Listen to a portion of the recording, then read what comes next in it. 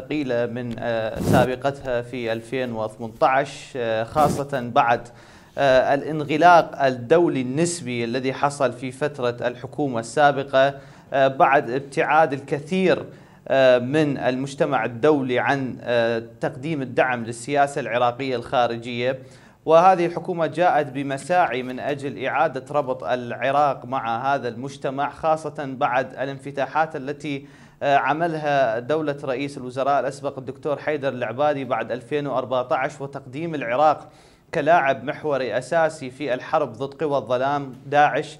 ومن خلال المساعدات التي قدمت للعراق من خلال المجتمع الدولي ومن خلال التحالف الدولي الذي أنشئ في عهد الدكتور حيدر العبادي. هذه الحكومة استلمت تركة ثقيلة من آه، حكومتها السابقة وبالتالي آه، أرادت أن توسع من آه، إمكاناتها الخارجية من خلال إعادة الانفتاح على المجتمع العربي وقيام زيارات إلى المملكة العربية السعودية وأيضا آه، دولة الإمارات المتحدة. وبالتالي هذه آه، الأعمال الدبلوماسية أو هذه الانفتاحات السياسية والدبلوماسية التي تحاول تصويب المسار في هذه الحكومة من أجل الوصول إلى عراق مقبول دوليا مرة أخرى عراق مقبول دوليا مجددا وخاصة مع آه، الأمور أو خاصة مع المبادرات التي يحاول العراق أن يقدمها للدول الإقليمية آه، في المنطقة من أجل الوصول إلى منطقة تعم سلام أكبر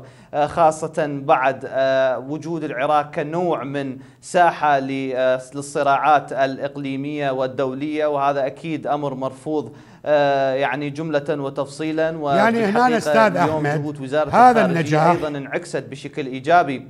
هذا النجاح. أو هذه مقدمات النجاح للخارجية للدبلوماسية العراقية وللخارجية نعم. العراقية في أن تلعب دورا محوريا في القضايا الإقليمية هل هو بحد ذاته يمثل نقطة انطلاق نعم. قوية بالتحرر من أصحاب الأجندات والولاءات الخارجية بمعنى آخر أننا أمام مرحلة يجب أن تستثمر بشكلها الصحيح لأن مقدماتها صحيحة أم أن التوصيف قد يكون هذا يعني فيه غرور؟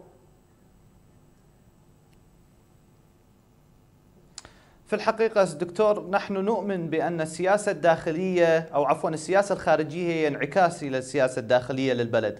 بالتالي اليوم نحن في سياستنا الداخلية في العراق آه، يعني في الحقيقة لا يخفي على الجميع أن هناك مشكلات حقيقة ما بين القوى السياسية ما بين التفاهمات ما بين القوى السياسية. وهذا بالتأكيد ينعكس بشكل أو بآخر حول سياسة العراق الخارجية من ناحية المواقف والمضامين.